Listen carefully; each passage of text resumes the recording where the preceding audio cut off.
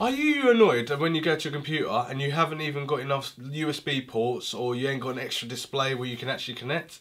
Well, Aukey's got the answer right here. Find out more.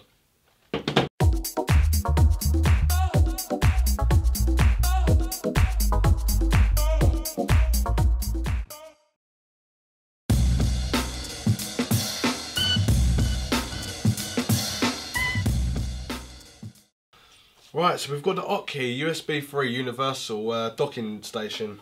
Now we've got a heavy base here and it's as simple as just sliding it in and it's ready to go on the desk and it's solid as a rock. Now let me talk about the features of this uh, device here. Now, this is made by Aukey. Uh, there is a few other devices. I've also done one with Plugable and stuff like that. Um, all great devices so far. Uh, this is a little bit smaller, a little bit more of a design rather than the old school ones that I've done before. More of a heavier base. Um, on the side here, it's a little bit plasticky, which I would have thought it would have been a bit more better quality. But it still looks good. It's got USB 3, um, two of them at the front there. It's got um, a headphone jack and a microphone jack, and also a LED indicator on the front there.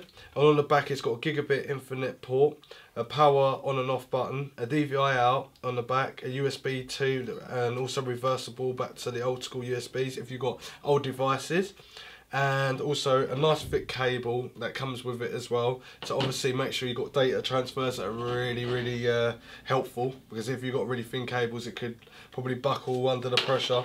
So at least you know the quality's there.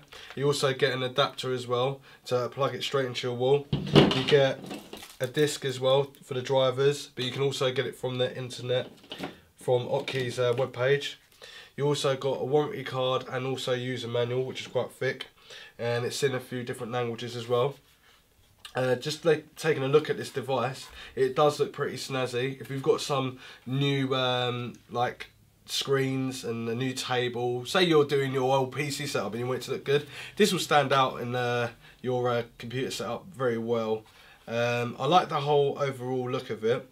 Um, just my only gripe is plastic and I'm just thinking is it's a bit of a finger, magnet but that's about it. It will do the job what it's meant to do so you can connect it up and get five up to five gigabits per second from the front which is basically just handy to have. Few USB ports to the back and the old school one in case you've got old products. And DVI at the back where you can get the interchangeable like HDMI or DVI or uh, VGA and click it, um, convert it and then put it back into your screen. And obviously you can connect the internet through it as well which is better than Wi-Fi.